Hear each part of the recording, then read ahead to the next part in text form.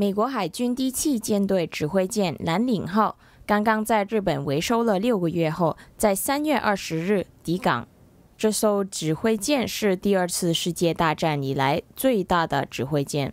拥有掌控海陆空指挥设备。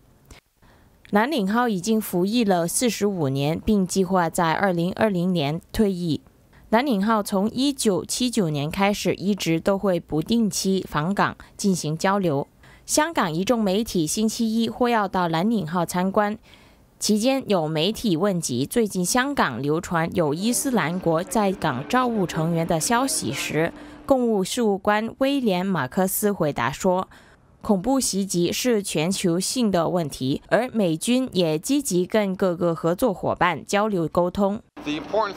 最重要的是，威胁是全球性的问题，不只是中东的问题。而第七舰队有不少的合作伙伴，通过训练、沟通和合作，交流不同的信息，在策略层面上合作。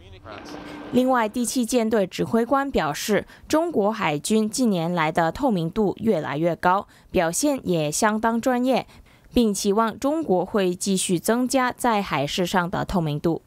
美国之音香港报道。